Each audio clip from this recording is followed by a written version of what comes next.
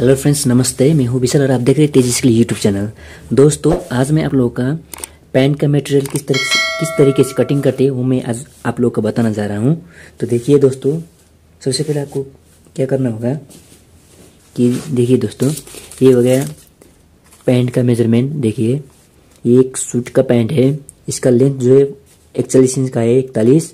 इसका कमर है बत्तीस इंच और इसका हिप है साढ़े सैंतीस और इसका थाई है तेईस इंच और इसका घुटना यानी कि नी है। सत्रह इंच और इसका बॉटम मोरी है। तेरह इंच और इसका जो सीट है, छब्बीस इंच, ठीक है? और इसका कमर, बत्तीस इंच कमर का, किस तरीके से हम मटेरियल इसके कटिंग करते हैं, देखिए दोस्तों। सबसे पहले ये हो गया पैंट का कटिंग और इसका पॉकेटिंग देखिए दोस्तों। ये है इसका पॉकेटिंग इसका पॉकेटिंग हमने ले लिया है आधा मीटर, यानी कि देखिए, पचास सेंटी का हमने पचास सेंटी का मटेरियल लिया है, और इसका हाफ़ लाइनिंग ये हो गया हाफ़ लाइनिंग यानी कि हाफ़ चेरी ठीक है? इन सब मटेरियल को किस तरीके से कटिंग करते हैं, मैं आप लोग को बताना जा रहा हूँ।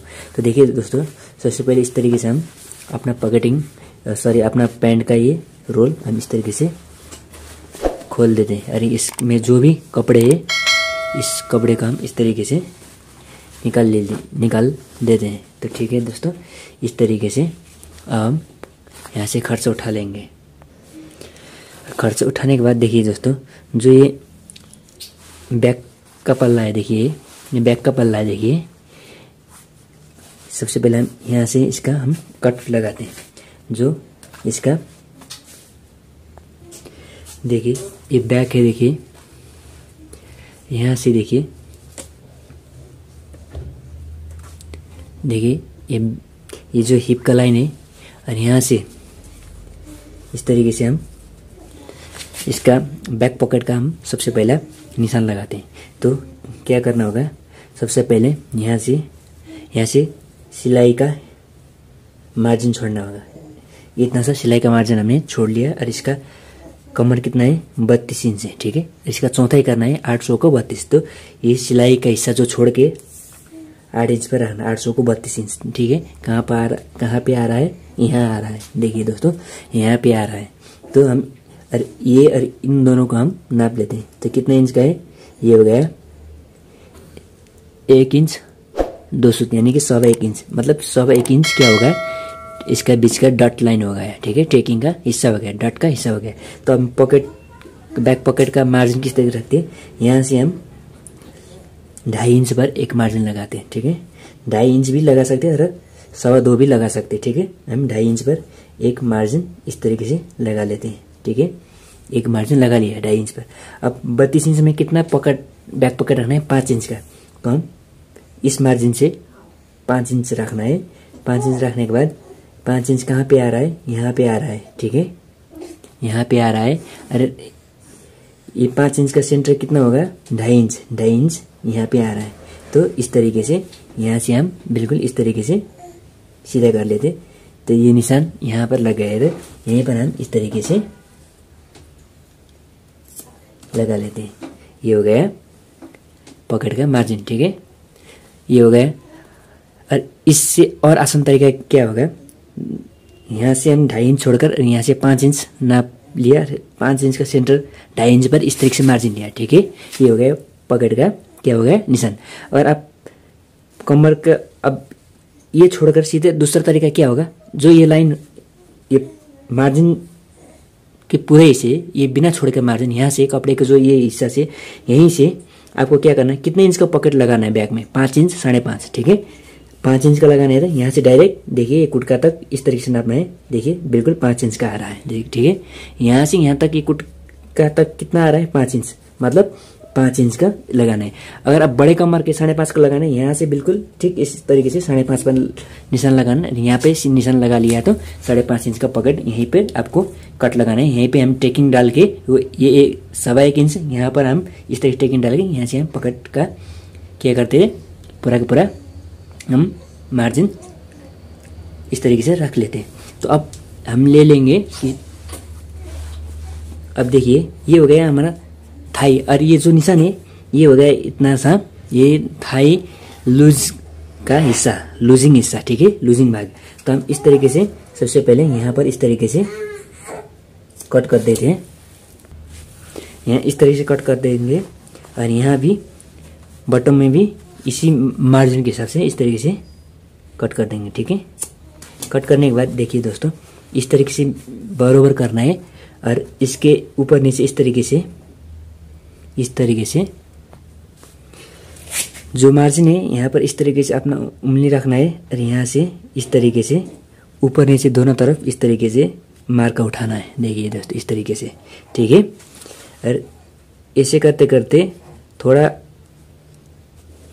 लंबे लंबे डिस्टेंस पर इस तरीके से नीचे से ऊपर तक ही आपको इस तरीके से मार्क उठाना है यहाँ से। देखिए, दोनों तरफ़ मार्क उठाना है क्योंकि ताकि आपको दोनों तो सिलाई करने के बाद दोनों तरफ़ बराबर आ जाए, ठीक है? इस तरीके से हमने ये बैक बैक का पल्ले इस तरीके से हमने मार्क उठाया, ठीक है? ये हो गया बैक का, इसका काम खत्म हो गया। अब हम सामने वाला पल्ले पर मार्क उठाए। देखिए, ये सामने वाला मार्क है, देखिए, ये बटम है। अब जो ये बटम का ये जो मार्जिन है, इसी को कट लगाना है यहाँ पर, ठीक है? ये हो गया अपना लेंथ का निशान, ठीक है? अब ऊपर चलते हैं, देखिए, ये हो गया घुटना का मार्क ठीक है? और ये हो गया थाई का मार्क अब ये हो गया अपना फलाई का मार्क अब फलाई कितना रखना है दोस्तों?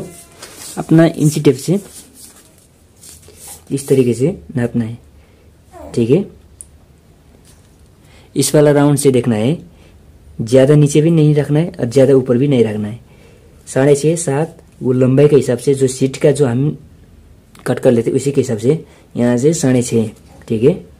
साढ़े छः ठीक है? यहाँ से साढ़े छः सात, इसी हिसाब से यहाँ मार्कर लगा लेंगे और यहाँ पे एक कट लगा लेंगे, ठीक है? तो ये हो गया इसका फ्लाई का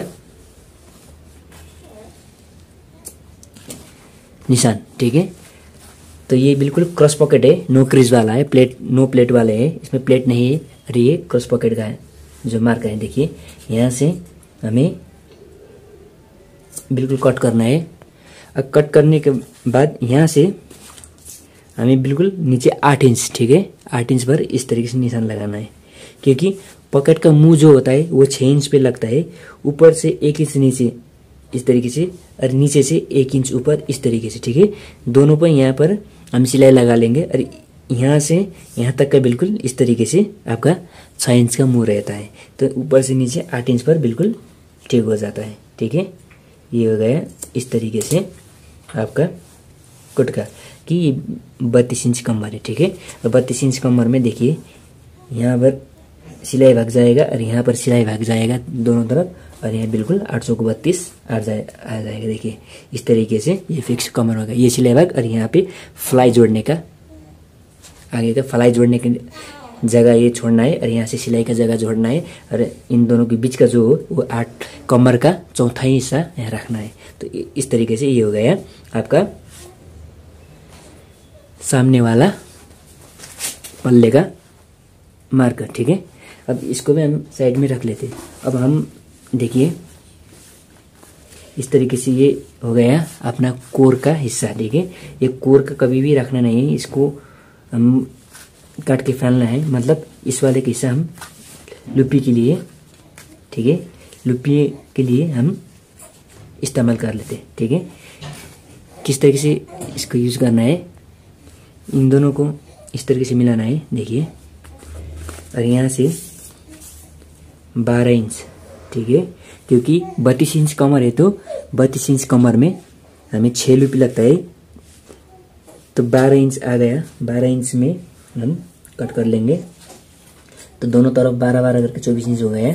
तो चार तिया बारह मतलब एक हिस्से से तीन रुपये आ जाते, दूसरे से तीन करके बारह रुपये सॉरी छः रुपये हो जाएगा। ठीक है? अब देखिए, जो ये हिस्सा है, देखिए ये हो गया अपना फलाई का हिस्सा, ठीक है? ये जो बैक से, जो ये फलाई का निशान जो आता है, इसको हम इस तरीके से कट कर देंगे यहाँ से, हल्का तिरसा और यहाँ से नीचे से हम साढ़े आठ इंच का, ठीक है? साढ़े आठ इंच का इस तरीके से हम ले लेंगे, ठीक है? ये हो गया फलाई का लिए। अब जो बाकी बचा हुआ जो कपड़ा है, देखिए। इस वाले से, ये जो बैक से आ रहा है, यहाँ तक हमें इस तरीके से इसको, यहाँ तक इस तरह से कट करना है। ठीक है, इसको यहाँ तक कट करके अलग करना है। और यहाँ पर देखिए, ये मार्जिन दो दिख रहा है। ये हमारा उल्टी तरफ़ है। इसको उल्टी तरफ़ इस तरीके से हमें मार्जिन उठाना है। अब देखिए दोस्तों, ये क्रॉस पॉकेट का जाति का पल्ला बन सकता है, जाति पीस बन सकता है। तो किस तरीके से रखना है? इसी तरीके से रखना है। अगर चेक वाला है तो चेक वाले को इसी तरीके से मिलाना है। ऊपर नीचे का दोनों कपड़ा का चेक मिला के अगर प्लेन कपड़ा है तो इसी तरीके से रखना है। देखिए दोस्तों, और जो सामने वाला पल्ला जो है, उसको उठा के लेकर आना है। देखिए सामने वाला पल्ले को। अगर चेक वाला है तो इस वाले का चेक ऊपर नीचे मिलाना है। इधर से आया हुआ जो चेक है, और इधर से आया हुआ जो चेक है, चेक वाले में दोनों चेक को इस तरीके से मिला के रखना है। और इसको भी इन चेक को बिल्कुल इस तरीके से मिलाना है। और ये प्लेन में है तो प्लेन में तो चेक मिलाने की ज़रूरत नहीं, उसमें से आसान तरीके से, इस तरीके से देखिए दोस्तों, इस तरीके से मिलाना है, देखिए, इस तरीके से रखना है, देखिए, इस तरीके से रखना है, और यहाँ से यहाँ से बिल्कुल इस तरीके से, ये जो शेप है, ये ये आगे वाला पल्ला का जो शेप है, इसी शेप में इस तरीके से हमें इसको कट करना है, इस तरीके से और ये कपड़े जो यूज़ में आता है, इसको साइड में रखना है। और इस तरीके से इसको बिल्कुल देखिए दोस्तों, इस तरीके से इसी शेप में हमने कट कर लिया और ये ऊपर का जो है, ये भी, इस भी, इसको भी इसी शेप में इस तरीके से कट करना है। जो आगे का ये ये जो कट है, देखिए, यहाँ पे जो कट लगा है, इसको जहाँ पे ये कट है, नीचे का भी इसी तरीके से इसको भी कट लगाना है। और यहाँ इधर को इधर भी, जहाँ पे ये कट है, देखिए, इसको भी यहीं पर इस तरीके से कट लगाना है। ठीक है दोस्तों, ये हो गया इसका कट। अब इसको उठा के साइड में रखना है। और देखिए, यहाँ पर देखिए, यहाँ पर इस तरीके से यहाँ कट लगा है। देखिए, यहाँ भी कटे और यहाँ भी कटे देखिए, दोनों तरफ़ कटे और ये नीचे, ये ज़्यादा हुआ जो हिस्सा है, इस कट से थोड़ा नीचे इस तरीके से कट कट करना है। इस तरीके से कट करना है। देखिए, इस तरीके से कट करना है, और नीचे की तरफ़ बिल्कुल ये नीचे की तरफ़ बिल्कुल इस तरीके से, पूरा की पूरा इस तरीके से छोटे छोटे कुटका लगाना है। देखिए, इस तरीके से छोटे छोटे इस तरीके से कुटका लगाना है। और इसको, इस तरीके से मिला के बिल्कुल इसको दो भाग में अलग करना है। देखिए, दो भाग में हमने अलग कर लिया। ठीक है? इस तरीके से ये हो गया साइड पॉकेट का जाती पीस अब जो जाती पीस साइड पॉकेट का, जिसमें हम पाइपिंग के, हिस्से के कपड़े निकाल दें, उसी के लिए ये जो वहाँ से बचा हुआ जो कपड़ा है, इसको इस तरीके से निकालना है। और हमने, जितना हमने क्रॉस पॉकेट का, हमने कितना लेंथ लिया था? आठ इंच का पॉकेट का, ठीक है? तो इसको भी इस तरीके से आठ इंच का लेना है। देखिए, इस तरीके से इसको भी आठ इंच लेना है। जो देखिए क्रॉस पॉकेट का जो इसका ये जो मार्क है, वो थोड़ा राउंड शेप में है, ठीक है? तो इसको भी हमें इस तरीके से राउंड शेप पर इसको भी काटना है। इस तरीके से, यहाँ से, इस तरीके से राउंड करके इस तरीके से लेकर जाना है। इस तरीके से राउंड शेप में इसको भी काटना है। तो ये हो गया हमारा जाति के कपड़े और ये हो गया जाति का कपड़ा और इसके पाइपिंग के लिए ये दोनों ये हो गया। ठीक है दोस्तों? अब जो इस वाले कपड़े से जो ये देखिए, जो ये कपड़ा बचा है, देखिए। जो ये बचा हुआ कपड़ा है, सबसे पहले इसको भी हम इस तरीके से उल्टी तरफ़ से मार्क लगाना है ताकि आसानी से पहचाने, ठीक है? तो हमें क्या करना होगा, इसको यहाँ से हमें सबसे पहले बेल का कपड़ा निकालना है। देखिए, ये इतना लंबा है तो यहाँ से हमें इस तरीके से बेल्ट की कपड़े, सबसे पहला बेल्ट के हिस्से का कपड़ा निकालना है। ठीक है? ये सबसे इम्पोर्टेंट बात है। इस तरीके से हमें पूरा की पूरा कट करके ये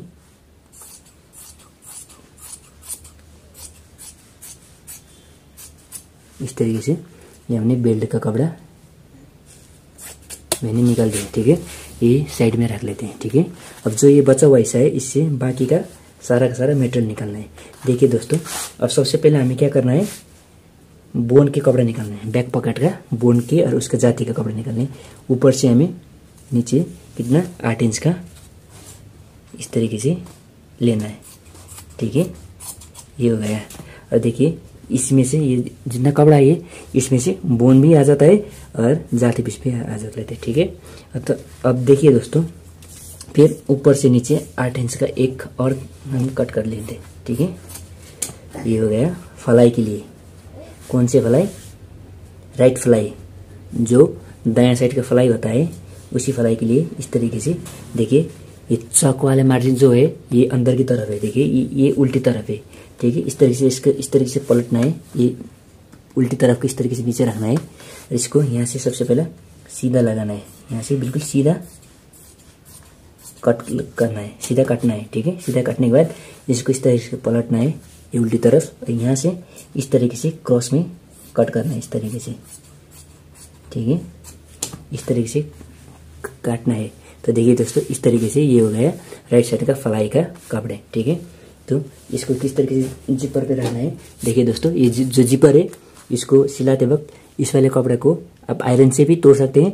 तो इसी तरीके से थोड़ी हल्की सी मोड़ना है, ज़्यादा नहीं, हल्की सी मोड़ना है, इस तरीके से मोड़ कर इसके ऊपर ये फ्लाई रख के आप इसकी सिलाई कर सकते हैं। ये फलाई किस तरीके से सिलाते हैं, मैंने ऑलरेडी वीडियो डाल दिया हूँ। वो वीडियो आपको आई बटन में मिलने वाला है, यानी कि मेरा प्लेलिस्ट में भी जाके आप देख सकते हैं।